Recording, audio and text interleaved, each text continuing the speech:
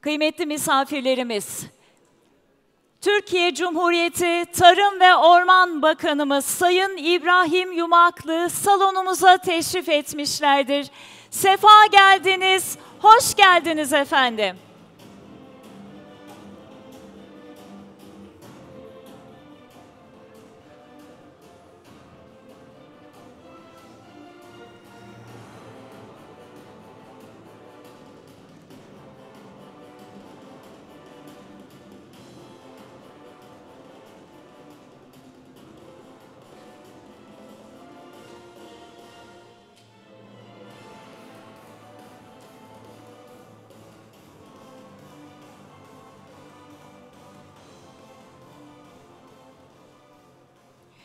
Basın mensubu arkadaşlarımıza teşekkür ediyoruz.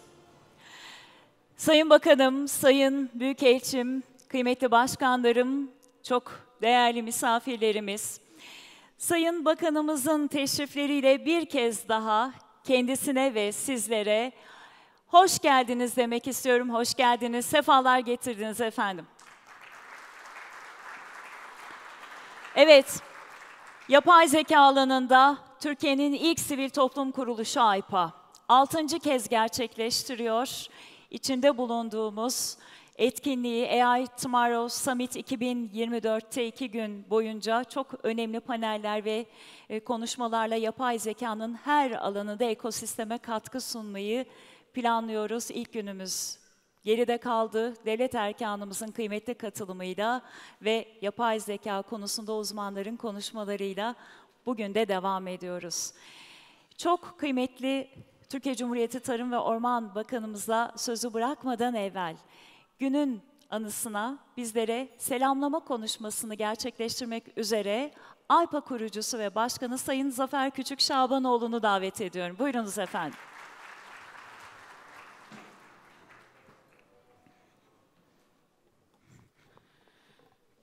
Sayın Bakanım, çok kıymetli Bakan Yardımcım, çok kıymetli protokol, hanımefendiler, beyefendiler. İkinci güne hepiniz hoş geldiniz, şeref verdiniz. İlk gün dolu dolu geçti. Devletimiz buradaydı, akademik sektör buradaydı, özel sektör buradaydı, iş dünyası buradaydı, gençlerimiz buradaydı ve basına yansımaları da hep beraber dün takip ettik. Gerçekten Türkiye'ye damgamızı vurduk ve uluslararası arenaya da güçlü bir mesaj verdik. Dün de konuştuğumuz gibi artık Türkiye geleceğe geç kalmıyor. Geleceğe emin adımlarla yürüyor, koşuyor ve biz de artık yapay zeka Devler Ligi'nde var olduğumuzu AI Tomorrow Summit'le de tüm dünyaya göstermiş olduk. Sayın Bakanımız benim aynı zamanda hemşerim. Kendisini geçen hafta ziyaret ettiğim zaman davet ettim. Çok yoğun programları var. Hatta buradan sonra da programları devam edecek. Sayın Bakanım, hoş geldiniz, şeref verdiniz. Ben Hazurun'dan Sayın Bakanımıza kocaman bir alkış rica ediyorum. Sayın Bakanım sizin burada olmanız, devletimizin burada olması bizi cesaretlendiriyor. Tekrardan iyi ki varsınız. Kıymetli katılımcılar, yapay zeka her alanı dönüştürdüğü gibi tarımı da dönüştürüyor. Özellikle sabah notlarımı çıkartırken birkaç anekdot sizlerle paylaşmak isterim. Yeşil büyüme kapsamında tarımda kimyasal kullanımı azaltıcı spot ilaçlama ve çapalama çözümleri artık yaygınlaşmaya başladı. Günümüzde bitki hastalıkları teşhisinde kullanılan yapay zeka çözümleri artık mevcut. Yapay zeka destekli verimlilik tahmini uygulamaları artmaya başladı. Otonom traktörlerle ilgili pazar gittikçe büyüyor. Sayın Bakanım, Sayın Bakan Yardımcım, dün de vurguladığımız gibi özellikle yapay zekanın 2030 yılına kadar oluşturacağı yaklaşık 16 trilyon dolarlık pasta payından bizim payımızı almamız lazım. Eğer ilk 10 ekonomiye gireceksek bu yapay zeka girişimciliğiyle olacak. Peki bu 16 trilyon doların tarım neresinde? Tarım tam merkezinde. Özellikle de yakın zamanda yapay zekanın yaklaşık 85 milyon istihdam kaybına yol açacağını biliyoruz tüm dünyada. Ama 97 milyonda yeni istihdam yaratacağını da biliyoruz. İşte dikey tarım uzmanları, drone pilotları gibi yeni meslekler türeyecek ve hepimiz bu mesleklerle ilgili özellikle gençlerimizi yönlendirmeliyiz. Ama çok şanslıyız ki konusuna hakim, uzman Tarım ve Orman Bakanımız var. Ben sözlerimi çok fazla uzatmıyorum. Sayın Bakanım tekrardan hoş geldiniz, şeref verdiniz. Sağ olun, var olun. Sayın Zafer Küçük Şabanoğlu'na biz de teşekkür ediyoruz. Ve kendisi de vurguladı. Aynı zamanda da malumunuz tüm dünyada nüfus hızla artıyor fakat ekilebilir tarım arazilerimiz giderek küçülüyor. Aynı zamanda iklim değişikliği kuraklık meselesini de beraberinde getiriyor. Dolayısıyla tarımda verimliliğin artırılması şart. Bu noktada da teknoloji çok önemli. Ee, Yapay zeka da bu unsurlardan birisi. Peki biz neler yapıyoruz? Çok kıymetli bir isim. Türkiye Cumhuriyeti Tarım ve Orman Bakanımız Sayın İbrahim Yumaklı'nın kürsü teşriflerini arz ederim. Hoş geldiniz efendim. Değerli katılımcılar, kıymetli konuklar, Hanımefendiler, beyefendiler, genç kardeşlerim, değerli basın mensupları hepinizi sevgiyle, saygıyla, en içten dileklerimle selamlıyorum. Zafer Bey bir mikro milliyetçilik yaptı. Onu bir kenara bırakırsak burada olmamın en temel sebeplerinden bir tanesi dünyaya yön verecek bir hususu, bir başlığı konuşuyoruz. Bu başlığın altında birçok husus var. E, hakikaten e, bugün çok yoğun bir günümüz e, söz konusu. Buradan sonra da aynı bu salondaki gibi genç bir kardeşimizin e, bir tarımsal üretimle ilgili girişimciliğini yaptığı bir işletmeyi Avrupa Birliği fonlarıyla kurduğu ve tabii ki bunun yarısını da Türkiye karşılıyor e, bir işletmeyi ziyaret edeceğiz. İstediğimiz, arzu ettiğimiz o ki genç kardeşlerimiz birçok sektörde olduğu gibi tarım sektöründe de mutlaka ama mutlaka olsunlar. Her şeyden vazgeçebilirsiniz ama gıdanızdan vazgeçemezsiniz. Dolayısıyla kıt kaynakların artan talebin karşılanabilmesi için artık dünyanın böyle gelmiş böyle gider dediği geleneksel bir metodolojiyle bazı fonksiyonları sürdürmesi mümkün değil. Tarımda bunlardan birisi. Özellikle çok hızlı değişim ve dönüşümler yaşanıyor. Hepimiz biliyoruz bunu. Son dönemde hep konuşulur. Hadi bir kez de ben söyleyeyim. Salgın hastalıklar, kıtlıklar, iklim değişiklikleri, kuraklıklar, su problemi aklınıza ne geliyorsa bütün bunların hepsi e, istisnai durumlar olmaktan çıktı. Artık bizim normal hayatımızın bir parçası olmaya başladı. Dün bilmiyorum aranızda Eskişehirli var mı? E, o yağan dolu toplarını gördünüz herhalde. Gerçekten bir insanı bile yaralayabilecek büyüklükte. Bunlar daha önce olmuyor muydu? Oluyordu. Ancak artık lokal olmaktan genele doğru yayılan bir davranış biçim göstermeye başladı. Biz bunlara artık yeni normaller dedik. Yani eğer önümüzdeki dönem için bizler bir takım şeyleri planlayacaksak mutlaka bu yeni normalleri göz önünde bulundurmalıyız.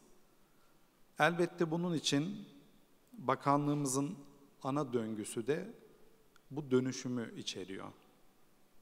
Bu dönüşümde teknolojinin ve verimliliğin çok önemli bir yeri var. Bizler beş ana eksen üzerine oturttuğumuzu söylediğimiz ki bunu tekrar etmek istiyorum. Tarımsal üretimimizi ve faaliyetlerimizi Bunlar sürdürülebilirlik, verimlilik, kalite, kayıtlılık ve sektöre yatırım. Neden bunu yapmamız gerekir? Biraz önce Zafer Bey söyledi. Çok önemli tarım tam da göbeğinde bu işin. Ancak kaynaklarımız sonsuz değil. Bunun bilincinde olmamız gerekiyor. Yani birim alandan daha çok verim almamız gerekiyor. Bunu yaparken her türlü şartı da göz önünde tutmamız gerekiyor. Bizler de elbette bakanlık olarak işte tam bu noktada faaliyetlerimizi özellikle teknolojik gelişmeleri yakından takip ederek entegre etme arzusundayız. Biliyoruz ki sadece günümüzün teknolojisini kullanmak yetmez. Geleceğin teknolojisini de biraz önce söylediğim yeni normale göre planlamamız, dizayn etmemiz gerekir. Bu arada şu konunun da altını çizeyim. Teknoloji deyince sadece ekipmansal bir teknoloji algılanmasın lütfen. Ürün geliştirme de bir teknolojidir. Sizin verimlilikle ilgili yaptığınız her hususta teknolojinin diğer noktasıdır. Ee, biraz önce söyledim, doğal kaynaklarımız sonsuz değil. Doğal kaynaklarımız bize atalarımızdan miras değil, bunun altını çizelim. Geleceğimizden aldığımız emanet. Hep bu anlayışla devam ediyoruz. Dolayısıyla bu emaneti genç neslimize sağlıklı bir şekilde devretmenin bilinciyle çalışıyoruz. Bütün dünyada olduğu gibi bizde de kırsal kalkınmada verimlilik itici bir güç unsuru. Kıt kaynakların verimlilikle alakalı bağlantısını sadece ve de sadece teknolojiyle kurabiliriz. Teknolojinin en önemli unsurlarından bir tanesi de artık o kadar çok veriniz, o kadar çok datanız var ki sizin bunları insan gücüyle yapabilmenizin imkan ve de ihtimali yok. Bir örnek olarak söyleyeyim. Dolayısıyla yapay zekayı doğru karar alma mekanizmasına doğru sonuçları ulaştırmak adına yapay zekayı mutlaka kullanmanız gerekir. Birkaç bilgi vermek isterim hazır bu fırsatı yakalamışken. Peki bakanlık olarak verimlilik ve teknoloji konularında neler olmuş? Tabii ki hepsini anlatmam mümkün değil, başlıklar halinde. ARGE destek programları var, tarımsal araştırma geliştirme birimimiz var. E, bu kapsamda çok ciddi projeler destekleniyor, desteklenmeye de devam ediyor. Ben özellikle buradan kamu, üniversite, özel sektör işbirliğini geliştirmek için kurulan enstitüler de dahil olmak üzere bütün genç kardeşlerimi, genç arkadaşlarımı buradaki programlara katılmaya davet ediyorum. Yaptığımız ARGE çalışmaları elbette biraz önce yine ifade ettiğim gibi bitkisel üretimi ele alırsak tohum geliştirmek için. Tohum geliştirmek deyince hep nedense sağlıksız bir şeymiş gibi algılanıyor.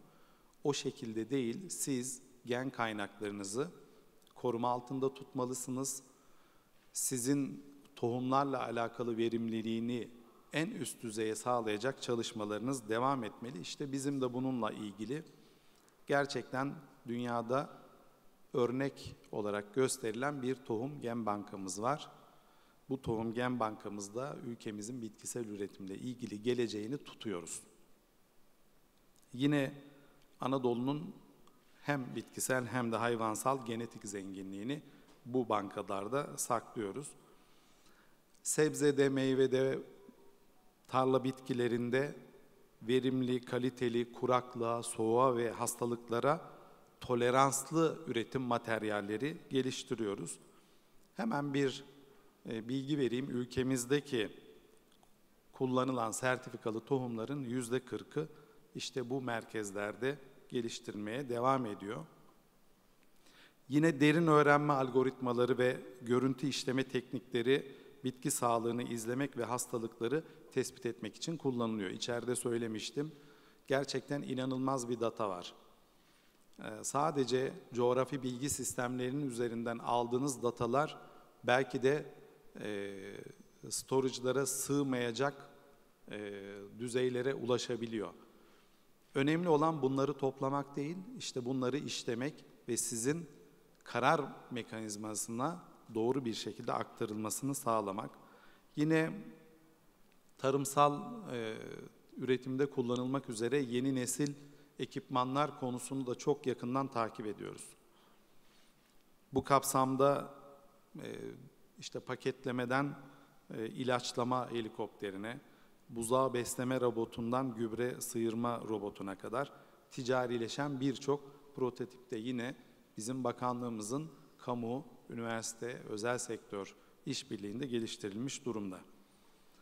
Elbette bugün geldiğimiz noktada eğer biz 2022 sonu itibariyle 129 milyon ton olan bitkisel üretimimizi 2023 sonunda 137 milyon tona çıkarmışsak bu ARGE çalışmalarının çok önemli bir yeri var. Kıymetli konuklar, ülkemizin tarımsal alanda rekabet gücünü artırmakta diğer önemli bir husus. Dolayısıyla yenilikçi olmalısınız, kapsayıcı olmalısınız, faaliyetlerinizin sürdürülebilir olması gerekir. Bir sefere mahsus değil. Dolayısıyla çiftçilerimizin bazı bilgilere veya bazı hizmetlere ulaşabilmesi için de dijitalleşmeyi ön plana aldık. Şunu itiraf edeyim, o kadar büyük bir alan ki, yani şimdi bunu söylerken bile bana çok yetersiz geliyor. Çok gidilecek alan var. Ancak özellikle en basitinden bile alsak, çiftçilerimizin, üretimlerimizin, üreticilerimizin bir hafta, hatta belki de daha fazla bir zaman içerisinde yapmış olduğu bir işi dakikalar içerisinde yapmasını sağlayabilecek tarım cebimde uygulamasını faaliyete geçirmek bile evet işlerimizi kolaylaştıran, verimliliğe bir katkı veren bir unsur olarak e, bir başlangıç noktası olabiliyor. Dolayısıyla bu tarım cebimde uygulamasını ben bütün e, buradaki Hazirun'a ve bizleri dinleyenlere indirmelerini istirham ediyorum. Orada sizlerin önerileri, tavsiyeleri, bugün özellikle yapay zeka konusunu konuşuyor iken bu konuyu da artık bu seviyelere getirecek her türlü e, katkıyı da bekliyoruz sizlerden. Özellikle çiftçilerimize tabii bu birçok uygulaması var bunun. Ben sadece bir e, cep telefonu uygulamasından bahsetmiyorum. E, çok önemli verilerin içinde yer aldığı bir bilgiden bahsediyorum. Özellikle toplam, toprak yapısı, e, iklim göz önüne alınarak, alınarak sulama ile alakalı çiftçilerimize e, yönlendirme ve onlara tavsiyelerde bulunan bir hale getirdik bunu. Neden önemsiyoruz? Şimdi değerli arkadaşlar, tarım matruşka gibidir. Bir konuyu açarsınız, içinden başka bir konu çıkar. Sulama dediğimde hemen benim size şunu söylemem gerekir. Su konusu önümüzdeki 5 yıllık periyotlarda özellikle bizim gibi Akdeniz havzasında iklim değişikliğinden en fazla etkilenecek bir ülkeyi çok fazla e, derinden etkileyecek bir potansiyele sahip. Bizler su zengini bir ülke değiliz. Fakiri de değiliz ama eğer teknolojiyi kullanarak kısıtlı sahip olduğumuz bu hayati önemdeki varlığı gerektiği gibi kullanmazsak şu anda 1313 metreküp olan kişi başına potansiyel kullanım miktarını 5 sene sonra 1000 metreküpün altına düşmüş olarak görebiliriz. O zaman biz de ülke olarak su fakiri olan ülkeler kategorisine girmiş oluruz. Dolayısıyla sadece sulama ile ilgili üreticilerimize yönlendirme yapan, onlara tavsiye veren bir uygulamadan bahsederken gördüğünüz gibi geldiğimiz nokta aslında ne kadar da önemli bir varlığın korunmasının konuşulmasına kadar geldik. Eğitim faaliyetlerimiz var. Ee, elbette bu olması gereken bir husus. Özellikle otomatik sulama sistemlerine tekrar e, bahsetmek istiyorum. Özellikle bunun da içinde yer aldığı akıllı ürün takibi, uzaktan e, algılama, coğrafi bilgi sistemi ve yine sayamadığım onlarca dijital e, konu, onlarca konuda bu dijital platformla yönetiliyor. E, üreticimizin hayatını kolaylaştırmak aynı zamanda kaynaklarımızı verimli kullanmak anlamına gelir. Dolayısıyla bu husustaki dünyada e, hali hazırda mevcut gelişmeleri de yakından takip ediyoruz. E, yapay zeka uygulamalarının tarım sektöründeki e, uygulama noktalarını ya da geldiği noktayı çok yakından takip ediyoruz. Yine itiraf edeyim, bu konuda kafamızda oluşmuş net bir e, sonuç yok. Yani yapay zeka tarımda nerelerde kullanıldı, hangi efektiflikte kullanıldı, hangi sonuçlara geldi konusu parça parça bilgiler var evet ama bütüncül bir yaklaşım yok. Dolayısıyla e, Zafer Bey'e geldiği zaman da söylemiştim. Belki de bu genç arkadaşlarımızın bu ülkeye yapacağı en büyük iyilik gıda gibi vazgeçilmez bir konunun e, artık bu hususta da e, geleceğe dönük perspektifinin olmasını sağlayacaktır.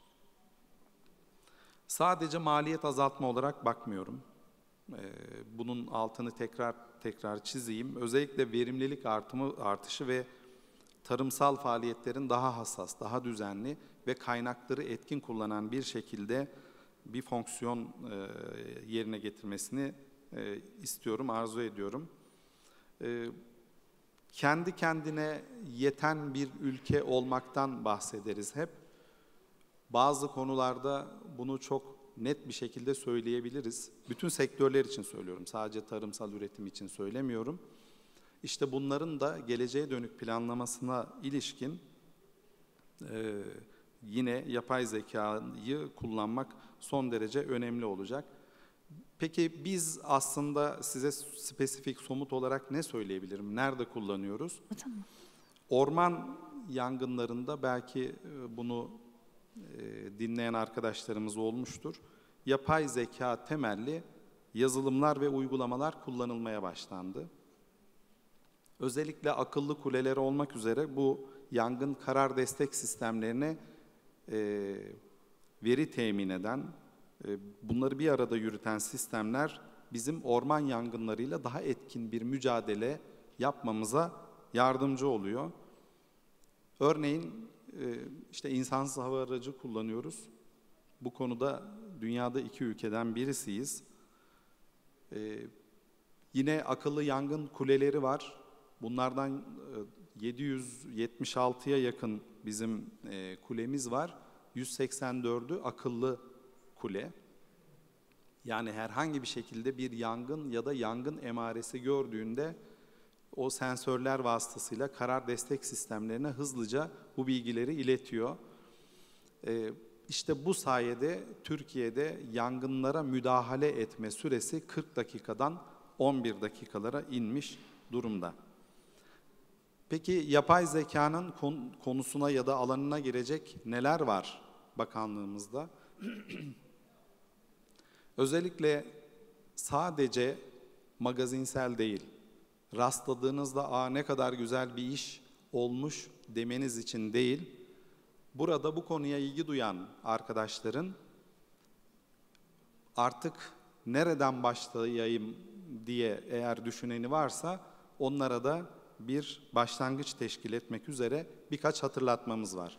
Değerli arkadaşlar, tarımsal üretim planlaması çok uzun yıllar konuşulan bir husus idi. 2023 yılında bunun yasal altyapısı tamamlandı ve biz devrim niteliğinde bir takım kararlar aldık.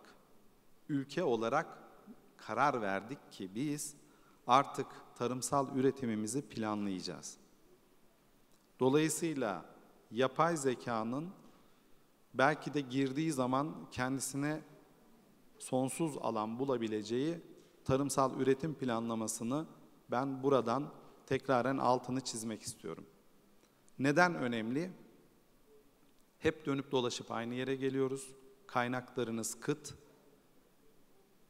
toprağınız, suyunuz, bir de buna iklim değişikliği ve diğer etkenler geldiği zaman gıdanızı garanti altına almanız, arz güvenliğini sağlamanız gerekir. İşte tam da bu noktada planlamayı doğru yapmalısınız. Bununla ilgili birçok çalışmalar var.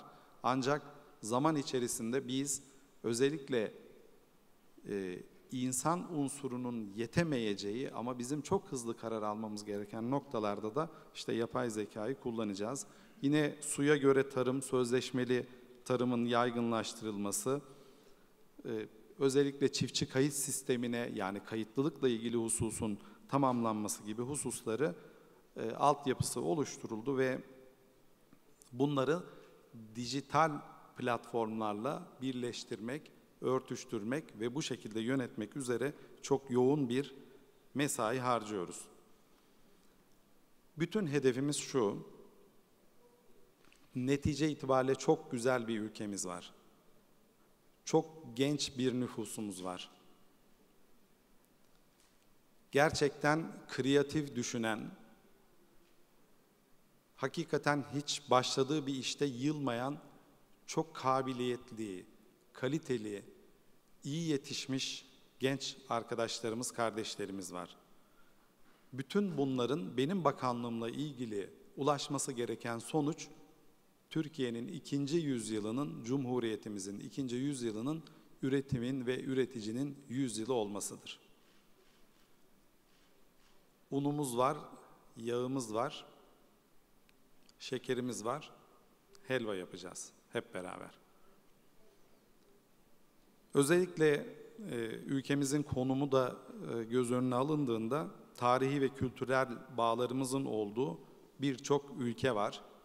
Yani yaptığımız ilerlemenin, gelişmenin her bir katma değerli faaliyetin sonucu sadece bizim ülkemizi değil, yakın coğrafyamızda bize bakan bütün ülkelerinde bu konuda e, bizlerden bununla ilgili faydalanmasını sağlayacak hem pazar anlamında hem de e, elde etmiş olduğumuz gelişmeleri gelişmeleri onları da katmak adına. Elbette birçok çıkar çatışması da var bulunduğumuz coğrafyada.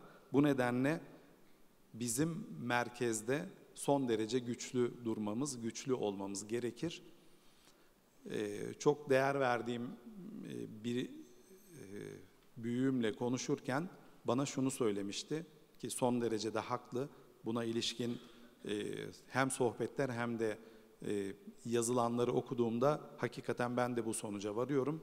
Eğer ülke olarak gıda arz güvenliğinizi sağlamazsanız ülkenizin dış politikası da, savunması da her şeyi etkilenir. Dolayısıyla içeride sağlam duracağız, dünyayla rekabet edeceğiz. Bilim ve teknolojinin rehberliğinde ulaşmak istediğimiz o biraz önce söylediğim üretimin, üreticinin yüzyılına hep beraber kavuşacağız. Bu kapsamda ben Yapay Zeka Politikaları Derneği'nin düzenlediği bu zirveyi çok önemsiyorum. Tarım ve orman alanında bu sektöre sağlayacağı inanılmaz katkılar olacağını biliyorum, düşünüyorum demiyorum. Biliyorum. Bu vesileyle buradan bütün bu konuyla ilgili çalışanlara kendi bakanlığımın uhdesinde Türkiye'nin gıda arz güvenliği başlığının altında tarım ve orman sektörüyle ilgili her türlü katkıyı beklediğimizi yeniden ifade ediyorum. Bu zirvenin düzenlenmesinde emeği geçen Zafer Bey ve ekibi başta olmak üzere siz değerli katılımcılara teşekkür ediyorum. Hepinizi sevgiyle, saygıyla selamlıyorum. Sayın Bakanım biz de sizlere konuşmanız ve katılımınız için teşekkür ediyoruz ve bugünün anısına teşekkür mahiyetinde bir hediye vermek istiyoruz. Sayın Zafer Küçük Şabanoğlu hediyeyi size takdim edecekler. Sürpriz bir hediye bu efendim.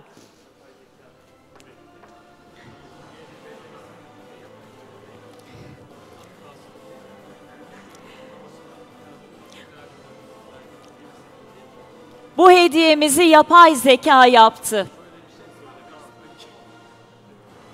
Zafer Bey'e Sesi teşekkür kısalım. ederim.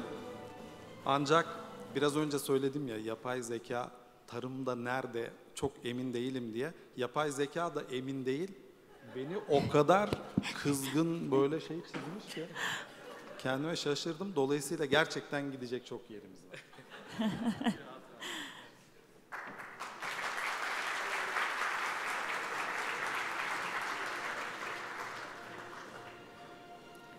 Bir ödülümüz daha olacak efendim. Bir hediyemiz daha olacak. Bir madalyon.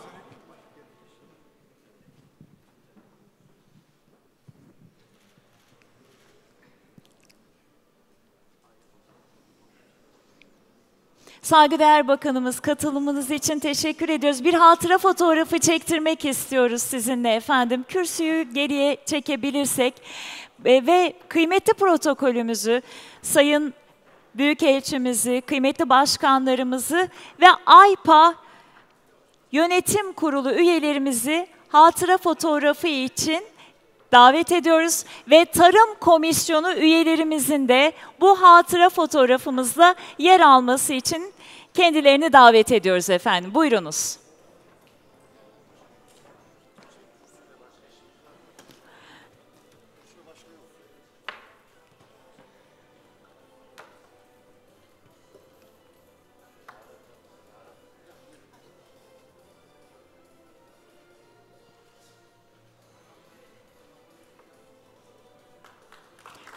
Çok teşekkür ediyoruz. Sayın Bakanım katılımınız için bir kez daha teşekkür ediyoruz ve kıymetli bakanımızı uğurluyoruz.